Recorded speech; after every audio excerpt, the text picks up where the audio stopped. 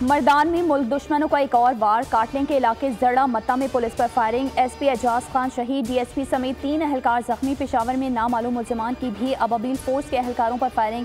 ایک اہلکار شہید، ایک زخمی۔ پولیس کے مطابق اہلکاروں نے مشکوک موٹر سائیکل سواروں کو روکنے کی کوشش کی۔ ملزمان فرار ہوئے تو تعقب کرنے پر ملزمان نے فائرنگ کر دی۔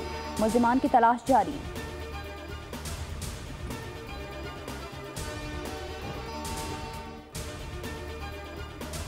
مودی کیا ستائیس فروری یاد ہے؟ سرپرائز ڈے کو پانچ سال مکمل۔ ستائیس فروری دو ہزار انیس کو پاکستانی شاہینوں نے طیارے سمیت بھارتی غرور کو زمین بوس کر دیا۔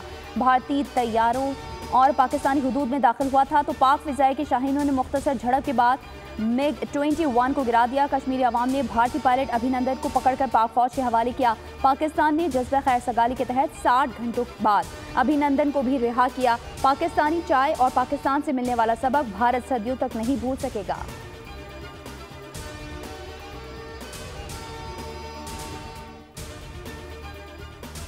پاکستان کا ابھی نندن کے ساتھ جنگی قوانین کے تحت بہترین سلوک کا اظہار۔ ابھی نندن نے خود بھی پاک فوج کے میزبانوں کی تعریف کی۔ ان کی تعریف کا ڈنکا ایسا بجا کہ پوری دنیا نے سنا۔ سوشل میڈیا پر ٹی اس فینٹیسٹک کا ہیش ٹیگ چھتیس گھنٹے زیر گردش رہا عالمی میڈیا نے سرخیاں لگائیں کہ بھارت کو ایک کپ چائے کی قیمت تیاری کی صورت میں ادا کرنا پڑی۔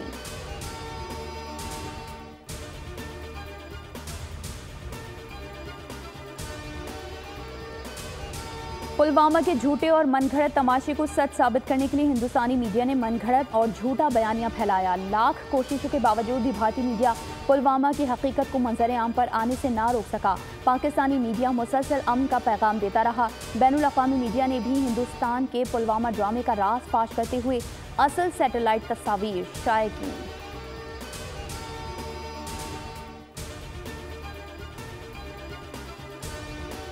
بلوچستان میں کہیں بارش تو کہیں برفباری، کڑاکے کی سردی نے شہریوں کے دانت بجا دیے۔ قلعہ عبداللہ میں برفباری، ہر سو سفیدی چھا گئی۔ کئی مقامات پر بارش بھی جاری۔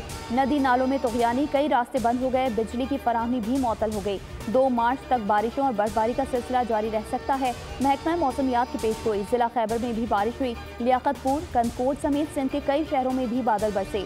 سردی بڑھ گئی۔ کراچی میں بھی یکپستہ ہواؤں کے ڈیرے۔ رات کے وقت سردی کی شدت میں اضافہ ہو گیا۔